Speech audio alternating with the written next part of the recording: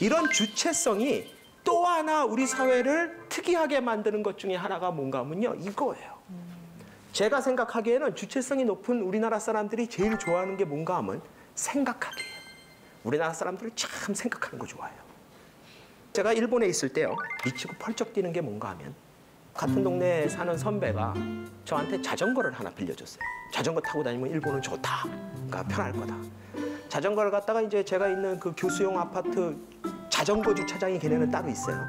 거기다 딱 갖다 세웠더니 갑자기 경비원이 나와요. 그러더니 너 이거 등록했니요? 지금 뭔 소리냐?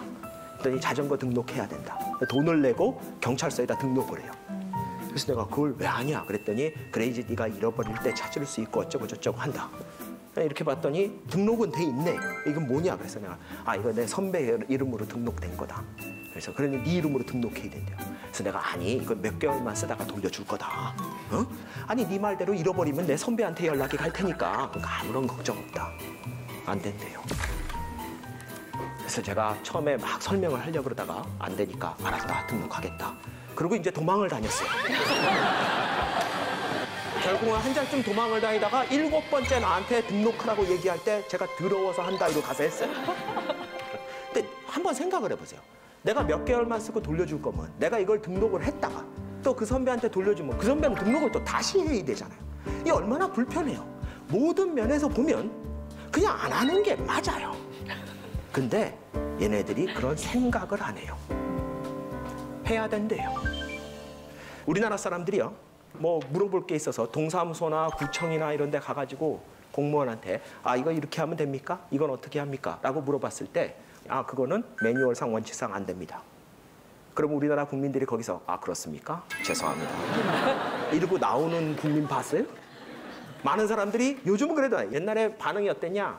딱 이래요. 씩 웃으면서 되겠구만 이러고 시작하는 거예요. 왜냐? 자기가 보기엔 될 것 같거든요. 우리나라 사람들은요, 자기가 판단해서 안 될 것 같은 건 가서 물어보지도 않아요. 가서 되냐 안 되냐 물어보는 건 대부분 된다고 생각해서 물어보는 거예요. 근데 상대방이 안 된다 그러는 거예요. 우리나라가 이제 저신뢰 사회다. 신뢰가 낮다. 이런 얘기를 많이 해요. 그렇죠? 근데 우리나라 사회가 저신뢰 사회라는 결론이 어디서 나오나 하면 일반적으로 World Value Survey 같은 거를 하는 겁니다. 국회는 얼마나 신뢰하냐, 정당은 얼마나 신뢰하냐, 사법부는 얼마나 신뢰하냐, 가족은 얼마나 신뢰하냐 이런 거를 수많은 나라의 국민들한테 물어보는 거예요. 그러면 이제 보기를 줘요. 물어보면서 굉장히 신뢰한다, 어느 정도 신뢰한다, 별로 신뢰하지 않는다, 전혀 신뢰하지 않는다.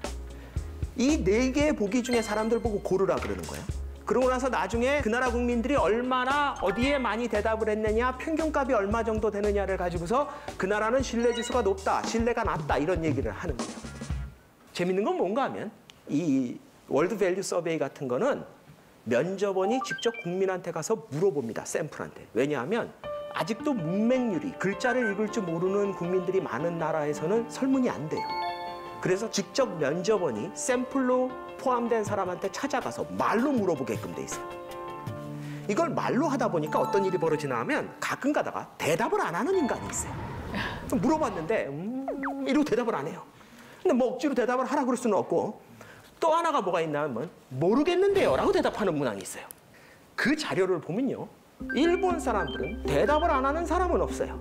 우리나라 사람들은 간혹 있어요. 대답을 안 하는 사람. 근데 일본 사람들은요. 모르겠다고 대답하는 사람이 되게 많아요. 우리나라는 모르는 사람은 한 명도 없어요.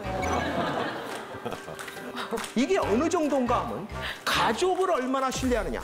그러면은 일본 사람들은요. 모르겠다고 대답하는 인간이 있다라는 거예요. 만약 여러분들한테 누가 국회를 신뢰하십니까? 그랬더니 여러분이 모르겠는데요. 그럼 보통 이렇게 뭐 아니 아니 당신이 국회를 신뢰하냐고요. 모르겠는데요. 그러면 어떻게 대답이 나오냐? 너 아무 생각 없이 사는구나 이러는 거예요. 그러니까 우리나라 사람들은 자기 의견을 강하게 표현하고 갖고 있는 거에 대해서 별로 거부감이 없어요. 근데 일본 애들은 자기 스스로 생각하는 거를 별로 좋아하지 않습니다. 상대적으로. 전혀 아니란 얘기가 아니라. 그래서 걔네들이 실제로 표현만 안 하는 게 아니라 생각 자체도 잘 안 해요. 그러니까 저 같은 사람이 가서 이거 자전거 몇 개월만 탈 거라니까 돌려줄 거. 네가 생각해도 말이 되지 않아? 난 이런 식으로 얘기를 해요. 조금만 생각하면 해결 방법이 나오잖아. 걔네들은 등록하세요. 그거 한마디예요. 그러니까 우리나라 사람들은 참 생각을 많이 하고 좋아해요. 그걸 뭘 보면 알 수 있나 하면요. 이걸 보면 알 수 있어요. 이게 자동차 사고 사망자 비율이에요. OECD 국가입니다. 이건 이제 국민당 자동차 사고 사망자 비율 상당히 높죠. 우리나라에서 법규 준수율이 OECD 국가 중에 몇 위쯤 되는 줄 아세요? 그러니까 법을 얼마나 교통법규를 잘 지키냐. 최하위. 아, 최하는 아니고요. 최하위권입니다. 예. 27위에서 28위 정도 나온다. 34, 5개. 그러니까 최하위권 맞아요. 그런 자료를 보면서 외국의 학자가 저한테 이렇게 얘기를 하겠죠.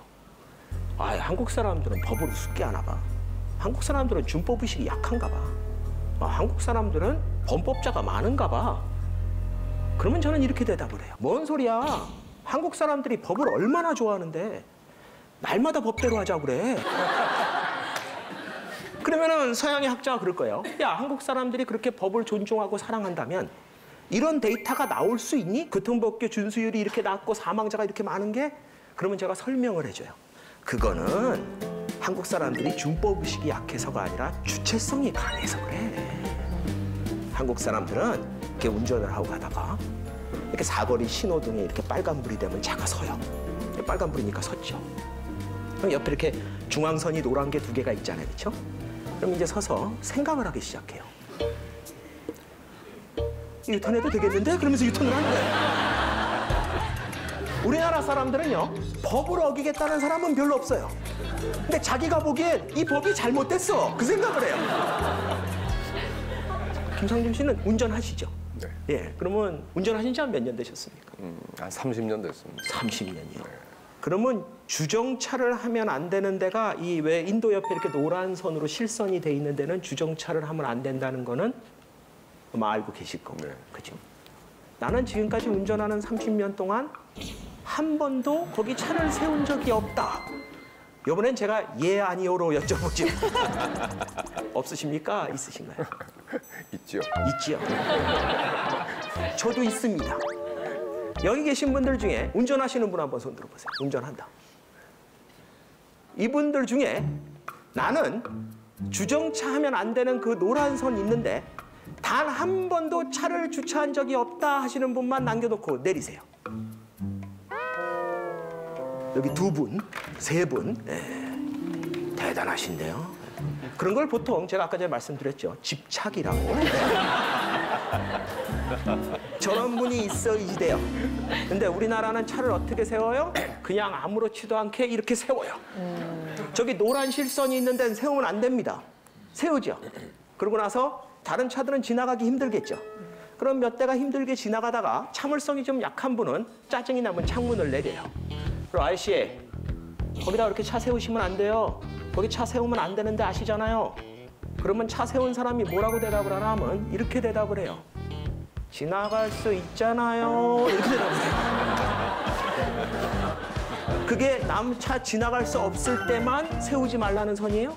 우리나라 사람들이 얼마나 배려심이 많은가 하면 보통 그런 사람들이 세워놓고 내려서 확인까지 해요. 다른 차가 지나갈 수 있나 없나.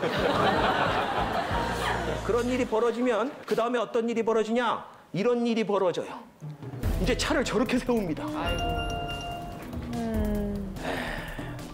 다른 차 지나가잖아요. 그죠? 지나가는데 아무런 문제 없어요.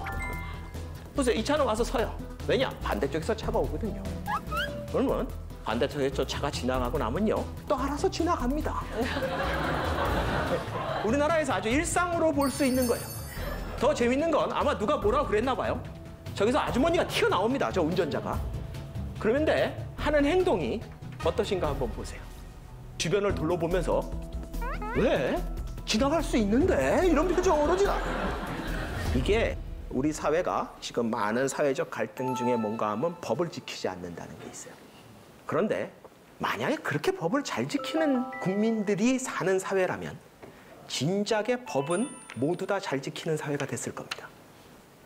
전 세계에서 우리 대한민국이 최초로 발명한 기계는 별로 몇 개 없는 것 같아요. 근데 전 세계에서 어떤 기계든지 한국에 갖고 들어오면 제일 잘 쓰는 건 우리나라가 제일 잘 씁니다. 왜냐? 매뉴얼대로 안 써요. 모든 매뉴얼은요, 일반적으로 그 기계가 할 수 있는 100% 용량에 맞춰놓지 않습니다. 대부분 안전하게 오랫동안 쓰기 위해서 용량의 한 80%뭐 이렇게 맞춰놓는 거예요. 그러면 그걸 지키면서 쓰면 사실 그 기계가 할 수 있는 거에 80%뿐이 못 쓰는. 근데 우리나라 사람들은 뭐예요? 쓰면서 그런 될것 같은데? 내가 보기 되겠구만 이러면서 가는 거예요. 그러면 온 국민이 다 모든 기계를 120%, 150%까지 쓰면서 삽니다. 기계만 그렇게 썼을까요? 아니요. 자기 몸도 그렇게 썼고요. 자기 마음도 그렇게 썼어요. 그러니까 온 대한민국 국민들은요. 자기의 120%, 150%를 쓰면서 살았던 거예요. 그러니까 대한민국이 전 세계에 유례가 없는 경제 발전이 일어나는 거예요. 전 세계에 유례가 없는 한 번도 없고 다른 나라가 해본 적도 없는 경제 발전이 그냥 뜨뜻미지근한 한국인들이 해낼 수 있어요? 못해요. 전 세계에 유례가 없는 일이 벌어지려면 전 세계에 유례가 없는 뭔가가 있어야 돼요. 그게 뭐예요? 바로 저 관계성과 주체성이에요. 그래서 그 주체성과 관계성이 나타나는 게 뭔가 하면은 너 내가 누군지 알아요. 너무나 쉽게 하는 거예요. 동사무소나 구청 같은 데 가서 뭐 언쟁 붙으면은 아무렇지도 않게 그래요. 한국 사람들이. 너 내가 누군지 알아? 그 사람 미치는 거 한번 보고 싶으면요. 이렇게 대답하면 돼요. 몰라. 몰라. 우리나라 국민이 5천만인데 내가 누군지 알게 뭐예요? 우리나라 사람들은 이 관계성과 주체성 때문에 갑질이 생기는 거예요. 나를 인정해 줘야 되는 거예요.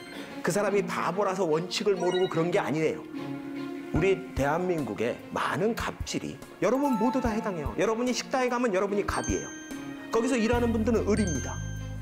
힘의 불균형에서 갑질은 나올 수밖에 없는데 왜 이렇게 극단적이고 비이성적인 형태로 나오냐?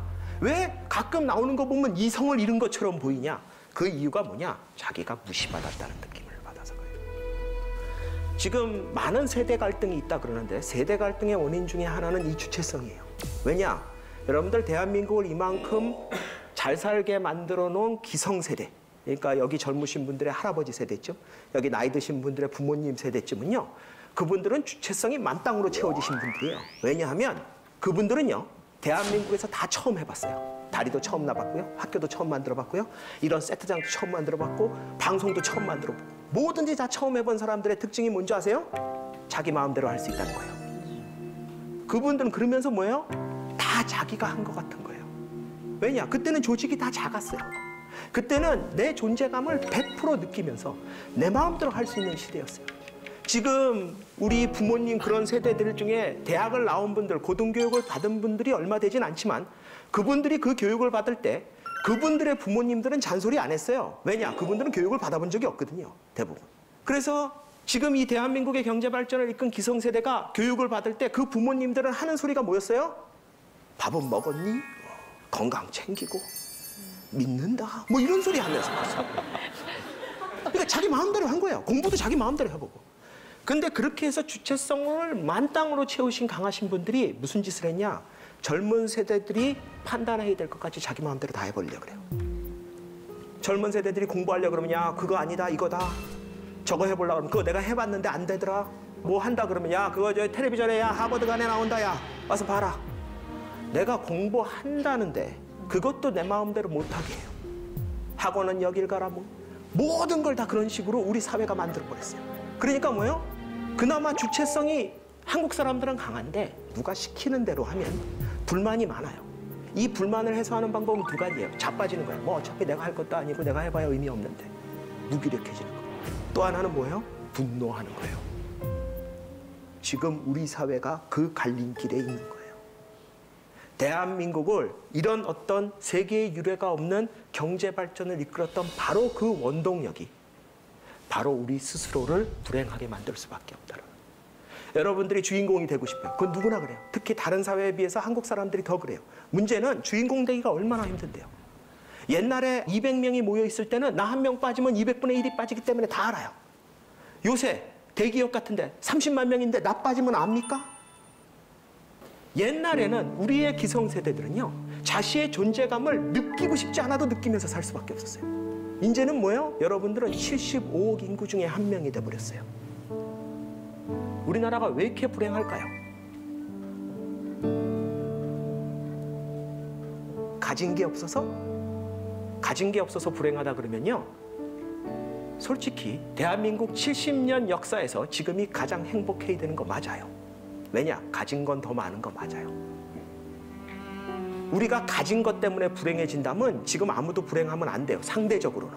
평균적으로는. 가진 것 때문에 불행한 게 아니라 그 수많은 사람들한테 인정받을 일이 별로 없기 때문에 그래요. 한턱 쏠 일도 별로 없어졌고요. 내 존재감을 알아주는 사람도 별로 없고요. 그런 한국 사회에서 우리가 어떻게 살아야 되냐? 어떻게 주인공으로 살 거냐? 딱 두 가지예요. 하나는 뭐예요? 나를 인정하는 수밖에 없어요. 과거처럼 남한테 의존하고 다른 사람한테 존재감을 받는 시대가 아니에요. 여러분들이 그러려면 전 세계 75억 인구한테 존중받아야 돼. 존재감이 돼. 50년 전, 60년 전에는 미국의 제일 부자가 누군지 대한민국 국민들은 거의 몰랐어요. 대한민국 부자가 전 세계에서 제일 부자인 줄 알았어. 지금도 우리나라에서 제일 부자라는 분들 얘기 들으면 재산 얘기 들으면 어 그래 와 저렇게 돈이 많아? 그런데 그런 분이 전 세계 무슨 500대 부자에서 보면 랭킹이 200이니 300이니 이런 거 얘기 보면 뭐 지난해나 뭐 별로 다를 것 같지 않은 것 같아요. 이런 시대에 살고 있는 거예요. 여러분이 뭘 해도 전 세계 75억 인구랑 비교될 거라는 거예요. 여러분의 존재감을 강하게 느껴주는 여러분 주변에 있는 사람들은 아빠, 엄마, 형제, 자녀 정도뿐이 안 돼요, 이제. 이런 사회에서는 우리가 설사 주체성을 갖고 있고 관계성을 갖고 있다 그러더라도 우리 스스로가 우리를 인정하는 그런 지혜를 가질 줄 알아야 되고요. 그러면서 동시에 여러분 주변에 여러분의 존재를 인정해 줄 수 있는 그래서 여러분이 여기 있다는 걸 알고 여러분이 어제 뭘 했고 내일 뭘 할지를 알아주는 그런 사람들을 여러분 주변에 많이 만들어야 된다. 그게 한국인이라면 한국인이 행복하게 살기 위해서는 반드시 해야 되는 일이다. 저는 이런 말씀을 드리고 싶습니다.